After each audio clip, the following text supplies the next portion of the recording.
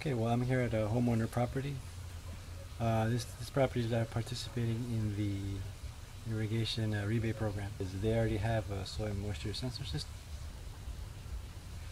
So what we're gonna do now is try to convert all their spray heads into rotary spray heads. And so that's what we're doing. Uh, by the end of this, they should they'll either have MP rotators or rotary nozzles all throughout their yard, front and back, two zones. Okay, now in order to be able to retrofit your spray nozzles with MP rotator or rotary nozzles, the shaft of your spray head must be male. That is to say, the threads are on the outside, as you can see here. And because the rotary or rotator nozzles are female, they'll go ahead and twist right on. Voila.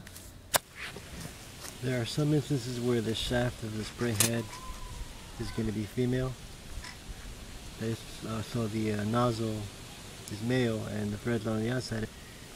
In this, in these cases, um, you may want to go ahead and excavate the entire uh, head and replace it with a complete uh, rotary head. It as well, so I'm going to replace it now with a 90 degree rotary spray head.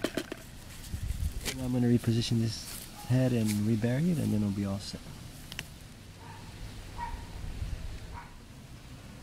Well, because the objective for this property is, is to replace every single spray nozzle with a rotary nozzle, uh, even uh, the instances where there are risers, uh, they want to replace it with a rotary.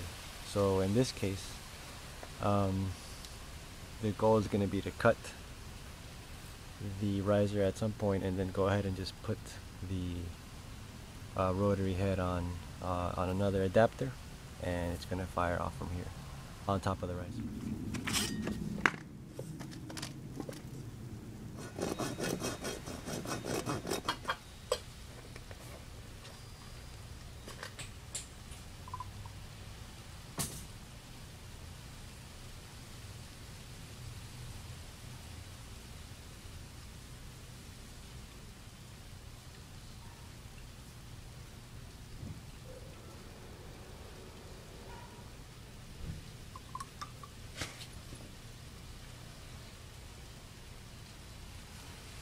This is a rather hidden uh, spray nozzle, but I'm going to go ahead and pull it out of there and replace it with a 10 foot throw MP rotator.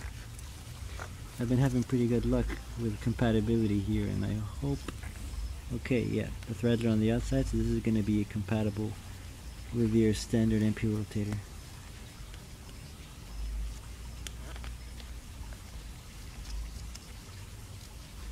Alright, let's move on.